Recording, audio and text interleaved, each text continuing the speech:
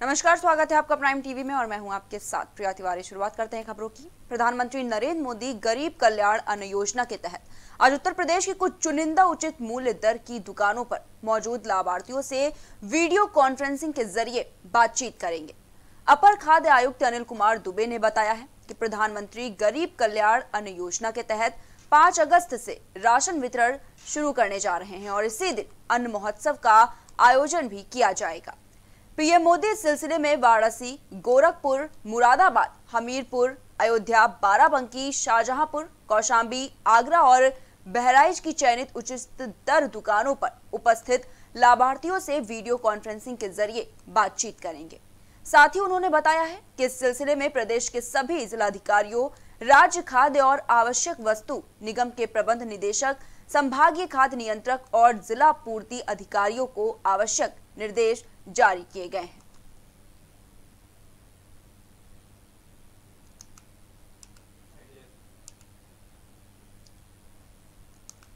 तो आपको बता दें कि प्रधानमंत्री नरेंद्र मोदी गरीब कल्याण अन्न योजना के तहत आज उत्तर प्रदेश की कुछ चुनिंदा उचित मूल्य दर की दुकानों पर मौजूद लाभार्थियों से वीडियो कॉन्फ्रेंसिंग के ज़रिए बातचीत करेंगे। आपको बता दें कि अपर खाद्य आयुक्त अनिल कुमार दुबे ने यह बताया है कि प्रधानमंत्री गरीब कल्याण अन्न योजना के तहत पाँच अगस्त से राशन वितरण शुरू कर रहे हैं और इसी दिन अन्न महोत्सव का भी आयोजन किया जाएगा। वहीं पीएम मोदी इस सिलसिले में वाराणसी, गोरखपुर, मुरादाबाद, हमीरपुर, अयोध्या, बाराबंकी, शाहजहांपुर, कौशाम्बी, आगरा और बहराइच की चयनित उचित दर दुकानों पर उपस्थित लाभार्थियों से वीडियो कॉन्फ्रेंसिंग के ज़रिए बातचीत करेंगे। साथ ही साथ इस सिलसिले में प्रदेश के सभी जिलाधिकारियों राज्य खाद्य और आवश्यक वस्तु निगम के प्रबंधक, निदेशक, संभागीय खाद्य नियंत्रक और जिला पूर्ति अधिकारियों को आवश्यक निर्देश भी जारी कर दिए गए हैं।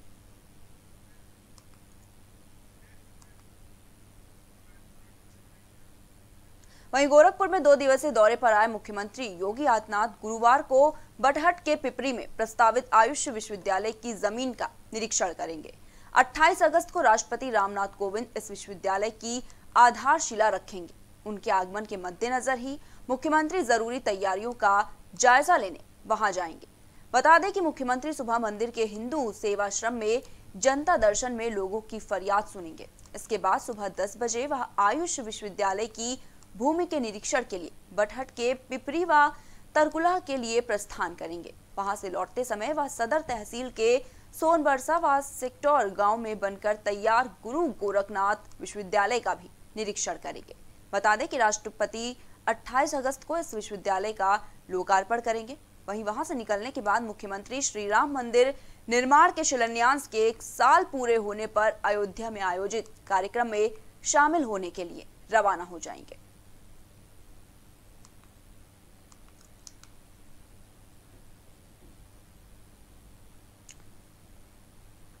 तो आपको बता दें कि सुबह 10 बजे वह आयुष विश्वविद्यालय की भूमि के निरीक्षण के लिए बटहट के पिपरी और तरकुल्हा के लिए प्रस्थान करेंगे। साथ ही साथ सीएम वहाँ से लौटते समय सदर तहसील के सोन बरसा व सिक्टौर गाँव में बनकर तैयार गुरु गोरखनाथ विश्वविद्यालय का भी निरीक्षण करेंगे। वहीं राष्ट्रपति 28 अगस्त को इस विश्वविद्यालय का लोकार्पण करेंगे। आपको बता दें कि सीएम यहाँ से निकलने के बाद श्री राम मंदिर निर्माण के शिलान्यास के एक साल पूरे होने पर अयोध्या में आयोजित कार्यक्रम में शामिल होने के लिए रवाना हो जाएँगे।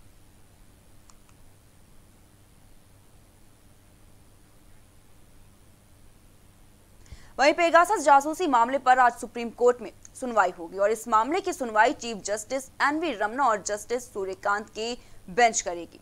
वरिष्ठ पत्रकारों एन राम और शशि कुमार, सीपीएम के राज्यसभा सांसद जॉन ब्रिटास और वकील एमएल शर्मा ने याचिकाएँ दाखिल की है।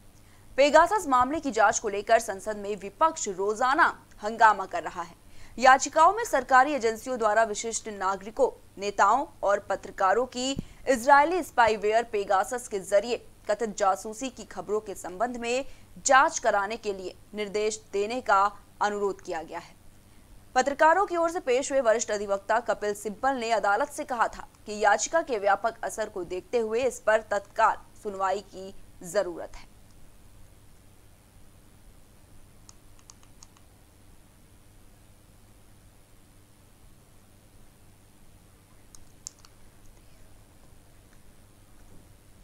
आपको बता दें कि याचिकाओं में सरकारी एजेंसियों द्वारा विशिष्ट नागरिकों, नेताओं और पत्रकारों के इजरायली स्पाईवेयर पेगासस के ज़रिए कथित जासूसी की खबरों के संबंध में जाँच कराने के लिए निर्देश देने का अनुरोध किया गया है। वहीं पत्रकारों की ओर से पेश हुए वरिष्ठ अधिवक्ता कपिल सिब्बल ने अदालत से कहा था कि याचिका के व्यापक असर को देखते हुए इस पर तत्काल सुनवाई की ज़रूरत है।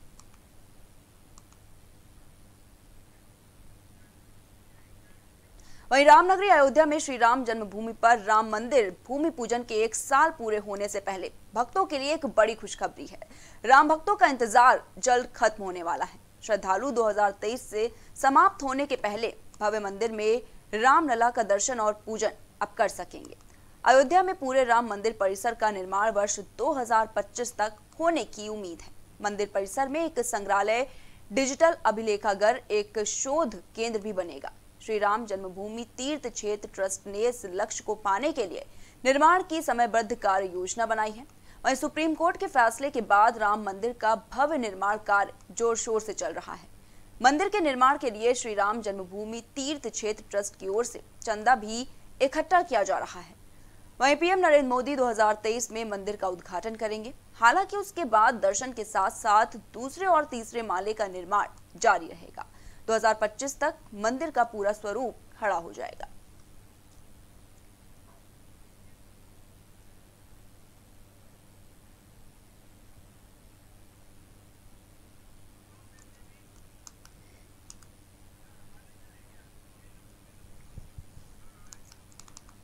और इसी खबर पर तमाम जानकारी के लिए हमारे साथ हमारे संवाददाता गोविंद जुड़ चुके हैं। तो गोविंद, आपसे जाना चाहेंगे, जिस तरह से राम भक्तों के लिए बड़ी खुशखबरी सामने आई है, क्या कुछ कहना है? तरह से मंदिर निर्माण के कार्यों में तेज़ी लाई जा रही है, उसको देखते हुए राम भक्तों में काफ़ी खुशी है। और मुख्यमंत्री सीधे इस, जो निर्माण कार्य है, इसकी मॉनिटरिंग कर रहे हैं। समय समय पे वो अधिकारियों को निर्देश दे रहे हैं। इसी क्रम में ग्यारह बजे लगभग वो संभावना जताई जा रही है कि वो अयोध्या के लिए प्रस्थान करेंगे और वहाँ पे जो निर्माण कार्य है, उसकी समीक्षा करेंगे। वहाँ अधिकारियों के साथ बैठक करेंगे। आवश्यक दिशा निर्देश भी देंगे। जी।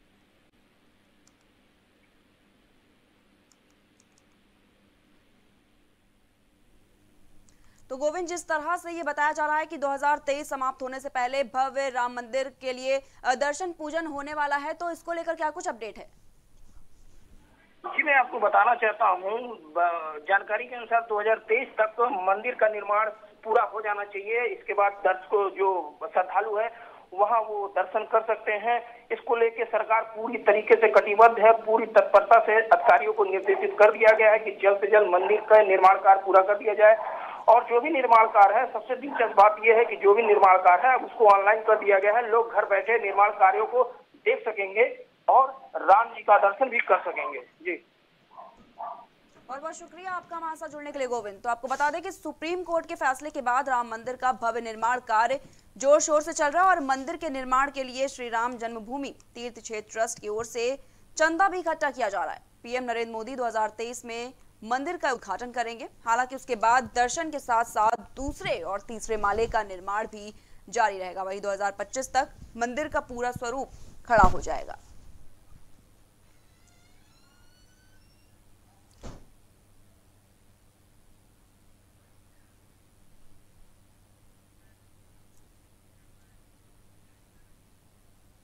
वहीं बारिश और बाढ़ से बंगाल, मध्य प्रदेश और राजस्थान बेहाल है। सैकड़ों लोग बाढ़ के चलते जहाँ तहां फंसे हुए हैं तो अनेक लोग बेघर हो गए हैं। हादसे की वजह से कई लोगों की जान चली गई, कई पुल डह गए। अलबत्ता सेना सहित कई संगठन बचाव में जुटे हुए हैं। खुद प्रधानमंत्री नरेंद्र मोदी मोर्चा संभाले हुए हैं। बता दें कि मंगलवार को मध्य प्रदेश के मुख्यमंत्री शिवराज सिंह चौहान से बात करने के बाद बुधवार को उन्होंने बंगाल की मुख्यमंत्री ममता बनर्जी से टेलीफोन पर बात की और हर संभव मदद का भरोसा भी दिलाया है। वहीं उधर ममता बनर्जी और शिवराज सिंह चौहान ने प्रभावित इलाकों का दौरा करके हालातों का जायजा लिया है। बंगाल में मुख्यमंत्री ममता बनर्जी ने बाढ़ को मानव जनित बताते हुए इसके लिए दामोदर वैली कॉरपोरेशन यानी कि डीवीसी को जिम्मेदार ठहराया है। उन्होंने पीएम मोदी से उसकी शिकायत भी की है। वहीं ममता ने कहा है कि राज्य सरकार को सूचित किए बिना डीवीसी ने पानी छोड़ा है, जिसके कारण ऐसा विकट हालात ये पैदा हो चुके हैं।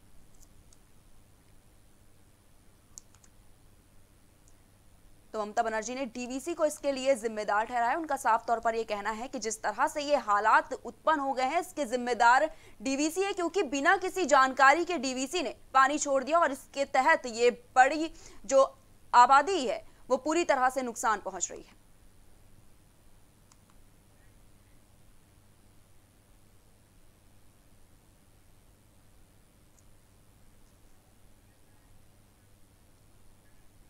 वहीं रामपुर में सपा सांसद आज़म खान और बेटे अब्दुल्ला आज़म की एक बार फिर मुश्किलें बढ़ गई हैं।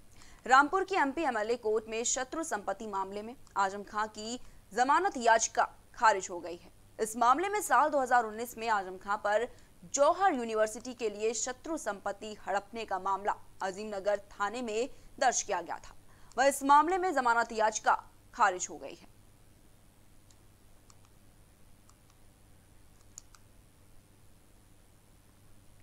तो आपको बता दें कि इस मामले में साल 2019 में आज़म खां पर जौहर यूनिवर्सिटी के लिए शत्रु संपत्ति हड़पने का मामला अजीम नगर थाने में दर्ज किया गया था और इस मामले में जमानत याचिका अब खारिज कर दी गई है।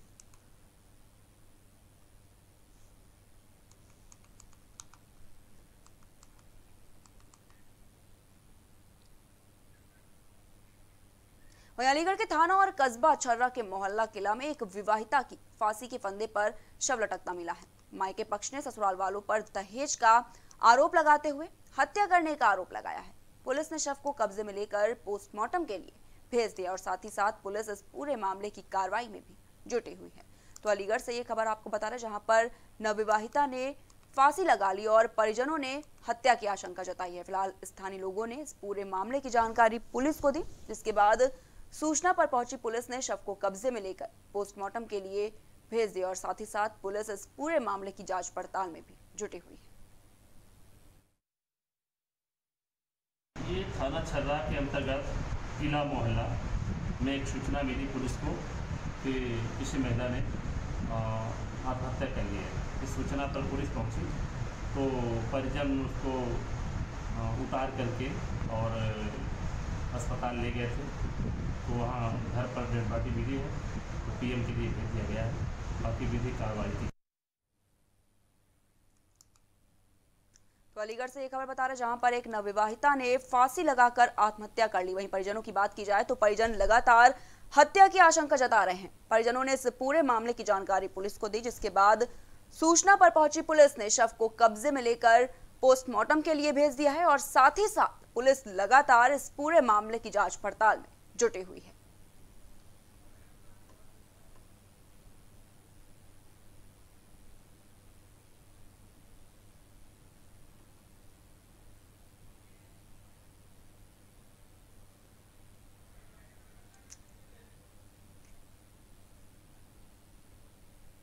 तो आपको बता दें कि अलीगढ़ में एक नवविवाहिता ने फांसी लगाकर आत्महत्या कर ली और परिजनों ने लगातार हत्या की आशंका जताई है। परिजनों ने इस पूरे घटना की जानकारी पुलिस को दी, जिसके बाद सूचना पर पहुँची पुलिस ने तत्काल मौके पर पहुँची और पुलिस ने शव को कब्जे में लेकर पोस्टमार्टम के लिए भेज दिया। हालाँकि पुलिस लगातार मामले की जाँच पड़ताल में जुटी हुई है।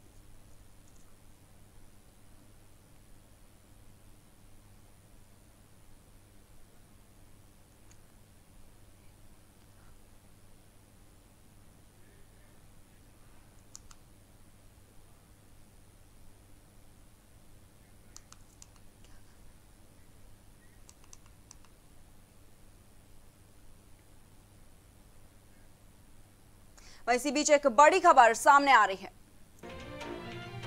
जौनपुर से बड़ी खबर, युवक का शव मिलने से इलाके में हड़कम मच गया है। बता दें कि बसई नदी में युवक का शव मिला है। युवक की हत्या होने की लगातार आशंका जताई जा रही है। वहीं मृतक युवक की अभी तक कोई शिनाख्त नहीं हो पाई है। हालाँकि पुलिस ने शव को पोस्टमार्टम के लिए भेज दिया और लगातार पुलिस इस पूरे मामले की जाँच पड़ताल में जुटी हुई है।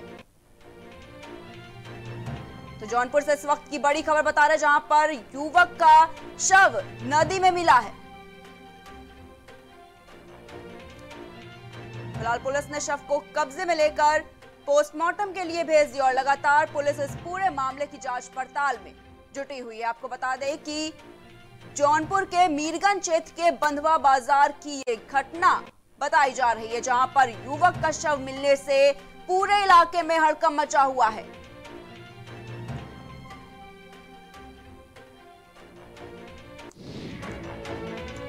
इसी बीच बड़ी खबर, सपा सुप्रीमो अखिलेश यादव की साइकिल यात्रा। अखिलेश यादव आज साइकिल यात्रा निकालेंगे। आज जनेश्वर मिश्र पार्क तक अखिलेश यादव साइकिल चलाएँगे। पार्टी दफ्तर से जनेश्वर मिश्र पार्क तक साइकिल चलाएँगे। सुबह 10 बजे मीडिया को संबोधित करेंगे। तो बड़ी खबर इस वक्त की आपको बता रहे जहाँ पर सपा सुप्रीमो अखिलेश यादव की आज साइकिल यात्रा है। आपको बता दें कि अखिलेश यादव आज साइकिल यात्रा निकालेंगे। जनेश्वर मिश्र पार्क से ये साइकिल यात्रा निकाली जा रही है। पार्टी दफ्तर से जनेश्वर मिश्र पार्क तक साइकिल यात्रा निकाली जा रही है। वहीं आज सुबह 10 बजे मीडिया को भी अखिलेश यादव संबोधित करेंगे।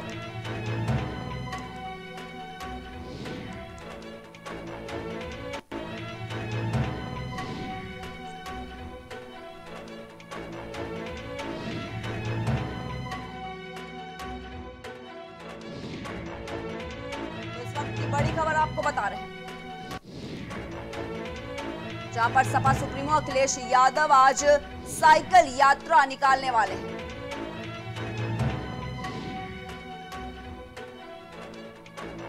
बता दें कि जनेश्वर मिश्र पार्क तक अखिलेश यादव साइकिल चलाएँगे। ये साइकिल यात्रा पार्टी दफ्तर से शुरू होगी और जनेश्वर मिश्र पार्क तक ये चलाई जाएगी।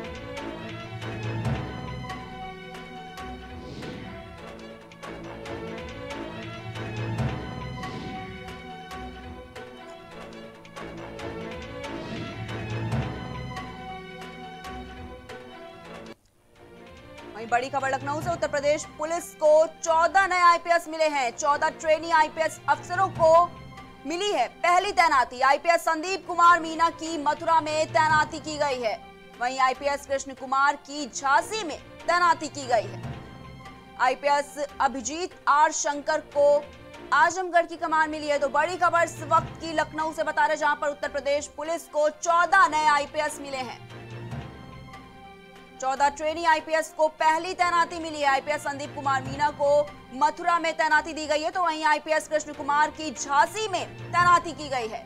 आईपीएस अभिजीत आर शंकर को आजमगढ़ में तैनाती मिली है तो बड़ी खबर इस वक्त की लखनऊ से बता रहे जहाँ पर उत्तर प्रदेश पुलिस को 14 आईपीएस मिले हैं।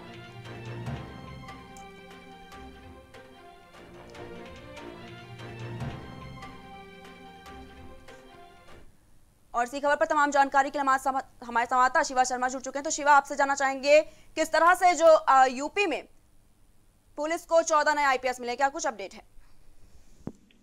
देखिए प्रिया, ये सभी आईपीएस अफसर 2018 और 2019 बैच के हैं।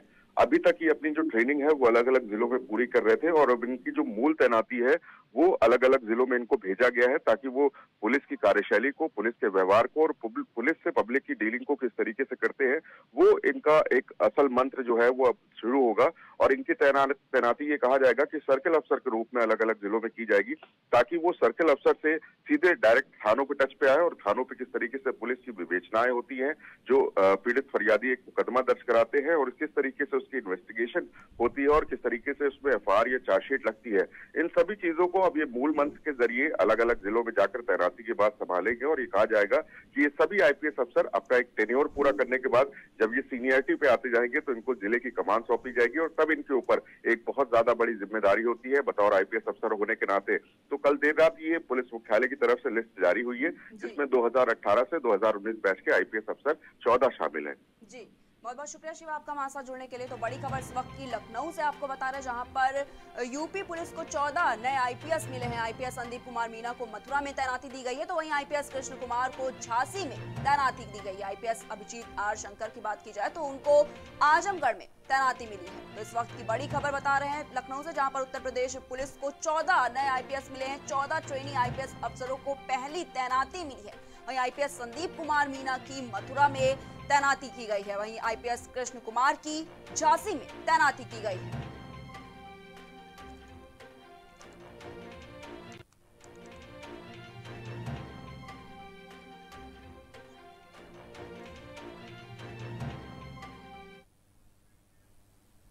फ़िलहाल के लिए इतना ही। देश दुनिया की तमाम बड़ी खबरों को देखने के लिए देखते रहिए प्राइम टीवी